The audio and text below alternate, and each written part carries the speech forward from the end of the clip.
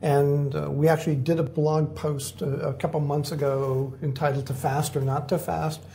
Um, and in that, we point out that there is actually a fair amount of published research on time restricted eating as long as people don't do total fasting for more than 24 hours, certainly skipping one or even two meals per day.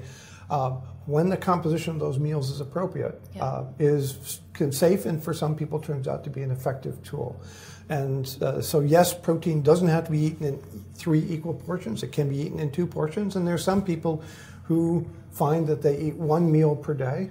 Mm-hmm. So they're basically fasting for from basically dinner, let's say one evening, till dinner the next eating evening, and uh, that as long as that is interspersed with uh, uh, a, a, adequate nutrition, including uh, adequate vegetables for mm-hmm. potassium and other minerals and fiber on the non um, restricted days. Mm-hmm. It, it, can be a healthy way to, to follow a well formulated ketogenic diet. Sure. Protein is important, so it, it is important to make sure that you get it in and meet all of your needs. Mm. Um, and then if you if you are in the situation where you're eating protein in this way, where you're kind of lumping it all into one meal and your ketones don't go down, don't be too surprised because that might also be a factor too. So depends on what your goals are, um, but it is definitely really important to get in all of your protein.